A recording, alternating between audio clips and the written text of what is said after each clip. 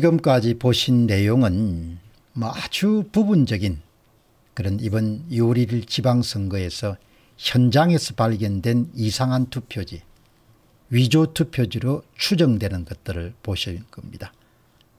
2020년도 4.15 총선과 하나도 달라진 게 없습니다. 예, 불행하게도. 가끔은 이 나라가 무슨 이런 나라가 있나라는 생각이 들 정도로 예. 그리고 사람이 사람인 것은 올바름이라든지 적법한 것 이런 부분에 대한 판단이 있기 때문에 짐승하고 다른 거 아닙니까? 그러니까 이런 것들이 있더라도 그냥 완전히 그냥 깔아뭉개고 마치 투명인간 보듯이 그렇게 간주하고 선거가 전혀 문제가 없었다. 뭐 이런 식으로 지금 몰고 가기 때문에 참 대한민국의 앞날이 너무나 우려스러운 것이죠. 예. 그 모든 정치인들은 선거관리위원회의 눈치를 보고 벌벌 떠는 그런 형국이 진행이 되는데 그나마 기대를 걸었던 윤석열 대통령도 지금 취하는 그런 태도를 보니까 뭐 거의 저는 가능성이 별로 없겠구나 그런 판단을 지금 하고 있습니다. 자 이렇게 대한민국의 오늘 순국 선열들을 기념하는 그런 현충일인데 이 현충일날 아침에 제가 방송을 드리면서 참 대한민국에 내노란 사람들이 많을 텐데 이렇게 참 한 국가에서 가장 중요한 선거 부정 문제에 대해서 이렇게 침묵을 하고 예, 또 헌법을 소위 수호해야 될 국가를 보존해야 될 그런 책무를 지고 있는 신임 대통령조차도 이 문제에 대해서 별로 관심을 갖지 않을 것으로 그렇게 계속해서 그런 신호가 나오기 때문에 참으로 우려하지 않을 수가 없다 이렇게 봅니다. 어, 더더욱 국민의 힘은 정말 기대하기가 힘든 그런 당이 돼버렸죠. 벌써 이런 이야기가 나옵니다. 부정선거를 규명하기 위해서 노력하는 사람들을 거꾸로 몰아붙이는 그런 움직임이 지금 일고가 있습니다. 한번 보시죠. 예, 여기에 소위 권성동 국민의힘 원내대표는 6월 5일 중앙일보와의 통화에서 극단주의에 치우치면 당의 앞날이 보장이 되지 않습니다. 당의 중도 확장 원칙을 재확인했다. 극단주의에 치우치면 당 앞날이 없다. 권성동 씨가 하고 싶은 극단주의가 뭐겠습니까? 예. 사전투표 조작 문제를 거론하는 사람들이 아마 극단주의 먼저 포함이 될 겁니다. 예. 그리고 사전투표에 그런 무결성 문제를 해결달라고 요구하는 그런 데모하시는 분들이 아마 극단주의에 속하지 않겠느냐 그렇게 생각합니다. 권성동 씨하고 제하고가 1960년생으로 동갑내기인데 예, 서로 뭐 다른 길을 걸어왔지만 어쩌면 사람들이 이렇게 처신할 수 있을까 예, 그런 걸 생각하게 되면은 참 뭐 만감이 교차가 하죠. 그래서 사람이 사람인 것은 선에 대한 그런 갈급함도 있고 정의에 대한 그런 아주 열정도 있고 합법에 대한 그런 믿음도 있고 그래야 사람이 사람이지 않습니까? 중도 확장을 하기 위해 가지고 극단주의 치우치면 안 된다. 무슨 말이겠습니까? 부정선거에 관해서는 일체 언급 안 하겠다는 거죠. 권성동이가 누굽니까? 윤석열 대통령이 아주 척건이지 않습니까? 그러니까 이미 뭐 윤석열 정부가 나아가는 그런 방향이라는 것이 다 보이는 것이죠. 예. 그냥 뭐 공개적으로 이야기하지 않더라도 아, 이 사람들이 앞으로 이렇게 가겠구나. 그렇게 나오는 겁니다. 그 다음에 이제 이번에 종로구 보궐선거에서 승리한 그런 최재형 예, 감사원장, 전 감사원장이 또 뭐 이 보니까 무슨 혁신, 혁신위원회 위원장을 하고 계신 모양입니다. 최재형 직접 SOS를 쳤다. 1호 혁신위원 35세 천하람 국민의힘의 혁신위원회 순천갑 당협위원장이 천하람 변호사가 혁신위원으로 합류할 예언이다. 최재형 국민의힘 혁신위원장은 최근 천하람 변호사에게 당 혁신위원을 맡아달라 뭐 이렇게 이야기를 했답니다. 혁신의 가장 첫 번째 어젠다 의제가 뭡니까? 예. 국민들이 갈급해하는 소위 선거 무결성 문제 선거 부정 문제가 발생하지 않도록 해달라. 이게 가장 중요한 핵심의 첫 번째 과제지 않습니까? 국가적으로 핵심 과제 1번이고 당내 경선에서도 계속해서 문제가 불거지기 때문에 또 당내의 핵심 과제의 1호란 것이 바로 선거 공정성의 확립을 위한 선거 정의 구현을 위한 제도와 관행의 그런 개혁, 혁신 이게 가장 중요한 거죠. 예. 뭐다 이렇게 그냥 사는 겁니다. 예. 이런들 어따리 저런들 어따리 만수산 드렁치기 얽힌들 어따리 우리도 이 같이 어울려서 그냥 한평생 멋들어지게 한번 살아봅시다. 이게 지금 대한민국의 소위 지도층이 있다면 예, 지도층의 그런 상황인 겁니다. 예, 모르겠다 이야기죠. 음. 최재형 씨 같은 경우는 뭐 자식들이 있을 것이고 이미 손자 손녀들이 뭐 초등학교나 이렇게 정도 다니지 않겠습니까? 정상적으로 아이들이 이제 결혼해서 가정을 꾸렸으면은 참 이렇게 예? 뭐 소신과 절개랑 그런 소위 한때 그런 평판을 받았는데 뭐 이렇게 다들 그냥 야합해 가지고 그렇게 사는 겁니다. 예. 우리 이제 윤석열 대통령도 예, 경제, 경제, 경제만 전념하겠다 뭐 이런 식으로 이야기하니까 어제도 조선일보가 그냥 지지하는 그런 사설을 쓰고 이제 오늘도 보니까 예, 중앙일보가 일면 톱 사설로 이젠 경제다. 정치권도 힘을 모아야 된다. 이렇게 이야기를 하네요. 이제 대한민국의 선거 부정 문제를 은폐하는 또 은폐함으로써 이익을 누리는 상당히 거대한 그런 일종의 카르텔, 연대가 돼 있지 않느냐 그런 생각을 하게 됩니다. 그리고 그 카르텔에 벗어나는 사람들은 뭐 앞으로 선거를 통해 가지고 선출직에는 도저히 그 당선될 수 없도록 그렇게 만드는 그런 거대한 일종의 카르텔이 형성이 돼 있다. 예.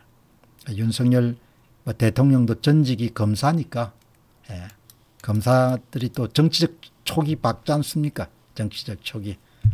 그래서 아마 그런 면으로 아무것도 안 할 가능성이 높다는 거죠.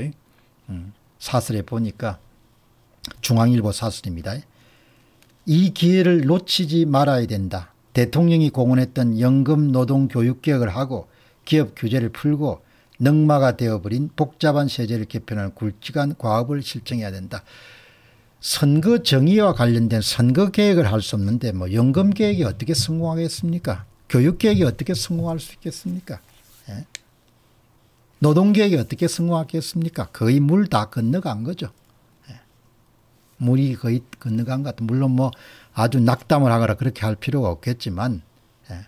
뭐 거의 물 건너갔다 이렇게 보면 되는 것이죠. 예, 써니 씨님처럼 선거제도가 몰락하게 되면 그것은 민주주의가 몰락하게 되는 것이고 그것은 다르게 말씀드리면은 뭐 국민들이 노예가 되는 거죠. 예. 노예가 되는 겁니다. 예. 이렇게 뭐 돌아가는 겁니다. 예. 예. 이렇게.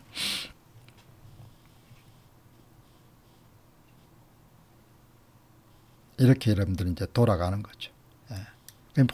모두가 이제 누구의 눈치를 보는 거 하니까 선거관리위원회 눈치를 봐야 되는 국민의 나라가 아니고 선관위의 나라가 되어버린 거죠. 대한민국이. 음.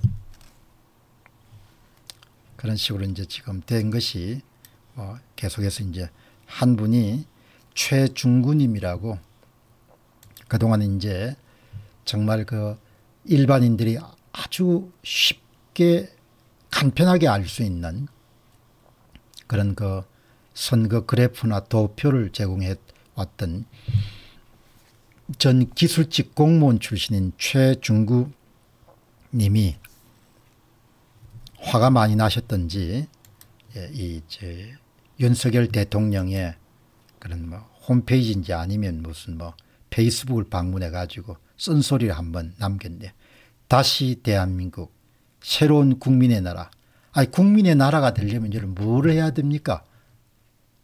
국민의 민의가 반영되는 선거 결과에 나와야 되지 않습니까?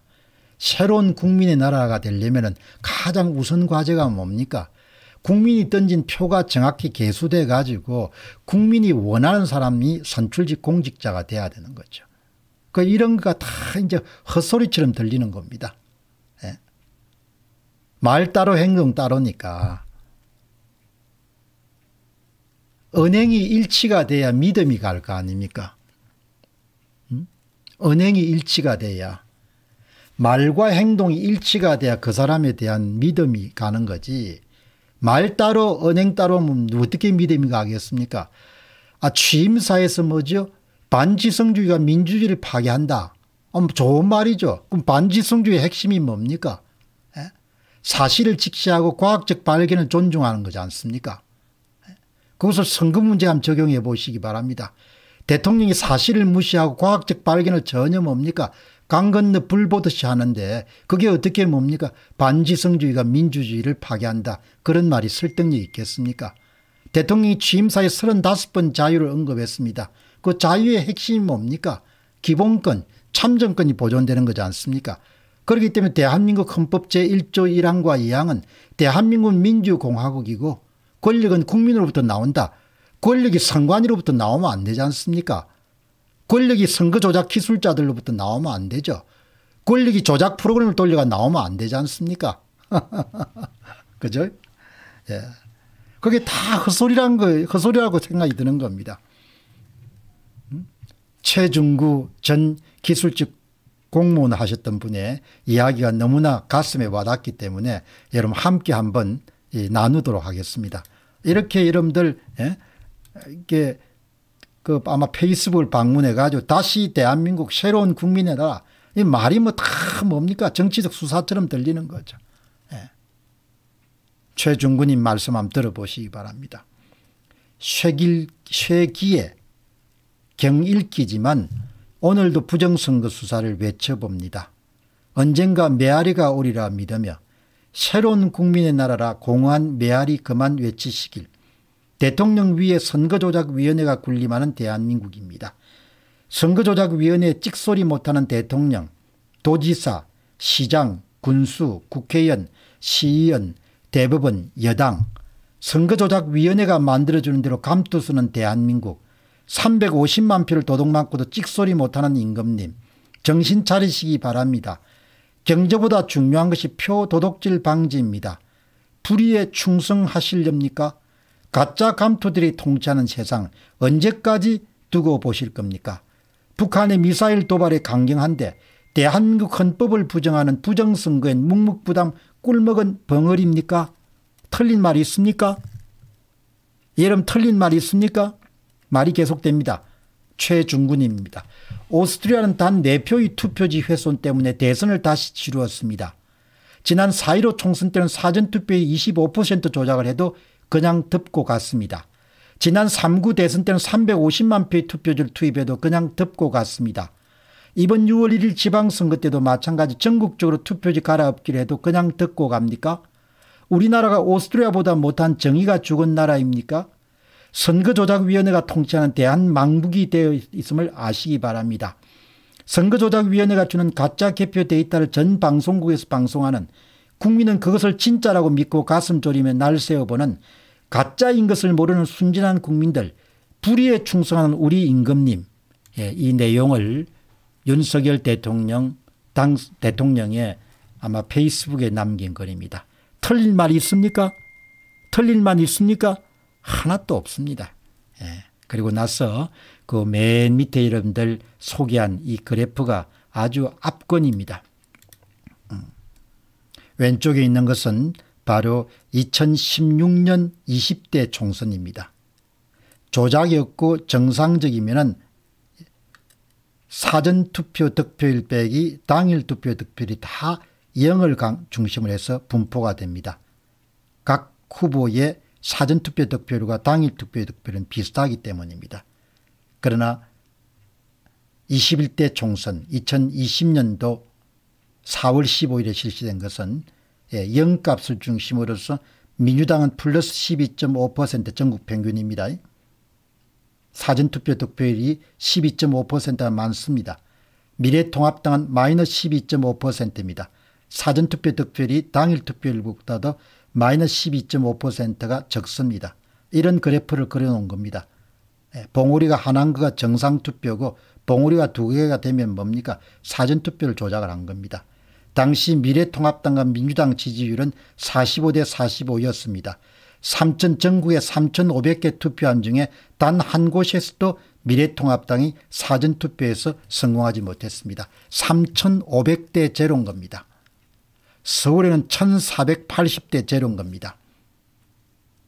더불어민주당이 사전투표에 승리할 확률 전국에 3,500대 제로인 겁니다. 민주당이 승리할 확률을 2분의 1, 0.5로 보면 0.5에 3,500개를 곱한 겁니다. 이런 일이 지금 일어난 겁니다.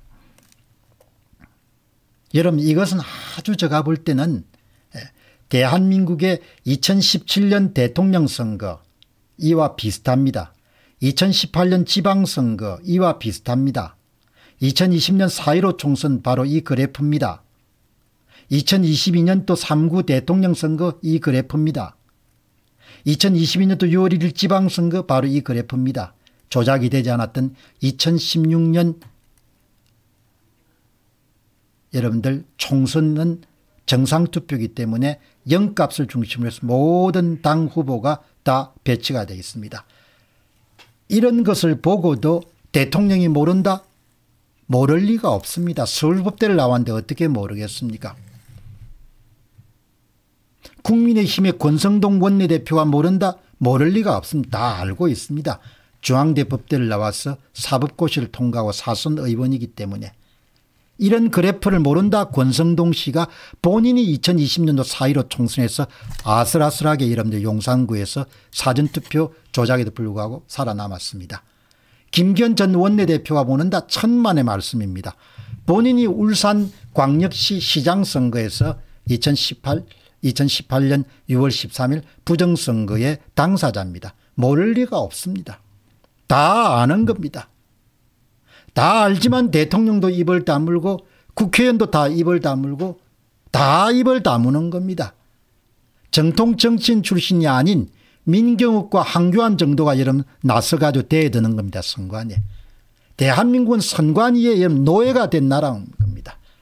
앞으로 이것이 개선될 가능성이 별로 높아 보이지 않는 겁니다. 대한민국은 국민의 나라가 아닙니다. 대한민국은 선관위의 나라인 거죠. 이렇게 여러분 나라가 돌아간 겁니다. 모아님이 잘 말씀하신데 한국통수권자는 선거관리위원회고 선거관리위원회 무인지하 만인지상 이꼴은 선관이다 이렇게 말씀하셨네. 이렇게 여러분들 나라가 돌아간 겁니다. 그들이 모를 리가 없다고 봅니다. 한동훈 법무부 장관처럼 그렇게 스마트한 사람이 모른다? 천만에 다 알 겁니다. 조갑제가 모른다? 예, 모를 수도 있겠죠. 뭐. 그 양반은 뭐 옛날 사람이니까. 정규제가 모른다? 천만에 말, 다 알 겁니다. 예. 아무리 고대 철학과를 나와서 이걸 어떻게 모르겠습니까? 예. 그냥 초등학생도 다 알 수 있는데. 모를 리가 없는 거죠. 다 알지만 그냥 입을 다는 겁니다. 예. 한편은 이익 때문일 것이고 다른 한편은 또 특별한 이유가 있겠죠. 그 사람들 다 자식들 키울 겁니다. 손자 손녀 키울 겁니다. 부정선거가 만연해 가지고 부정선거가 일성화된다는 체제가 무너지는 겁니다. 그런 체제를 자기 당대의 이익을 위해 가지고 다 입을 다무는 겁니다. 그게 있을 수 있겠습니까? 저는 이런 사례를 보면은 한 가지 옛날 사례가 떠오릅니다. 한선 감옥에서 나와 가지고 예, 미국 대통령을 만나 가지고 한국을 좀 도와달라는 그런 소위 밀서를 받고 이승만 대통령이 미국을 건너가지 않습니까 그래서 미국의 주한 공사한테 공식적으로 대통령을 만나게 해달라는 그런 길을 열어달라고 하지만 그 당시에 아마 김모 공사가 거부합니다. 몇 번 와싱턴에 있는 공사관을 찾아갔는데 마침 자기가 찾아갔을 때 이승만 대통령이 그 김주한 공사의 큰아들인 프랭크 김이라는 그 젊은 친구 NMH라는 그런 학교를 나오고 펜실베니아에서 여러분들 학위를 하고 이제 들어와 가지고는 그 일제시대 때저 영자 신문을 운영했던 프랭크 나 김이라는 그런 아들을 보고 그렇게 외치지 않습니까? 이승만 대통령이 너희 아버지가 이렇게 소위 반역 행위를 하기 때문에 너희 세대가 노예처럼 살 거다 그렇게 이야기를 하지 않습니까? 예, 나는 그게 떠오르거든요. 지금 대법관들 검찰 윤석열 대통령 국회의원 다 입을 다물고 그렇게 하는데 그게 뭐냐 후손들을 노예로 만드는 것을 재촉하는 길입니다. 그래서 제가 이렇게 안타까워서 이야기를 하는 겁니다. 이걸 해가 무슨 덕이 있겠습니까 예? 공병호 TV한 채널은 2년 동안 거의 성장이 멈췄습니다. 채널 자체가 방송되는 것을 다 막기 때문에 무슨 덕이 있다고 이런 이야기를 하겠습니까 예? 다 입을 다무니까 이렇게 이름들 다 돌아간 겁니다. 음, 다 압니다. 모를 리가 없습니다. 네. 모를 리가 저는 절대 없다고 봅니다. 다 아는데 다만 입을 다물 뿐이다. 이유는 사람마다 많겠죠.